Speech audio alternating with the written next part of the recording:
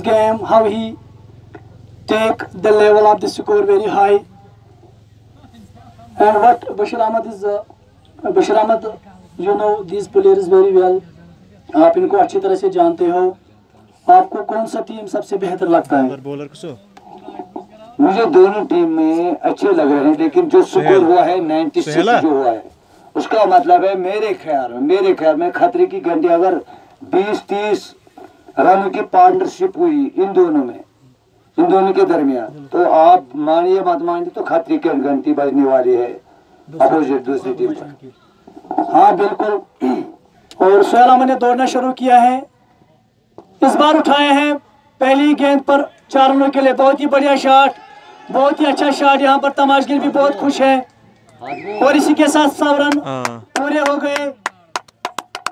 के साथ सौ रन पूरे बेहतरीन शॉट पहली गेंद पर मारा था। तो वहाँ पर बॉलर दबाव में दिख रहे हैं। दुलाई हो रही है। सौ रन पूरे दस दसवा बारहवा ओवर चल रहा है। बारहवा ओवर सिर्फ़ एक गेंद, अगली गेंद, वर्द विकेट। ये गेंद। इस बार पुश कर दिया ऑप्शन में। खुआ खुए रहा एक रन का इजाफा। वन ओ वन एक सौ एक। एक सौ एक तो उसका मतलब है अगर 130 के ऊपर जो रन बनेंगे वो विनिंग रन होगी। सोहेल अहमद अच्छे बल्लेबाज है मैं उनको पूरी तरह जानता हूँ। सिराज भी अच्छे बल्लेबाज है अच्छे बल्लेबाज है उनके पास भी अच्छे बल्लेबाज है। जो टीम अच्छा खेलेगी वो टीम जीत जाएगी।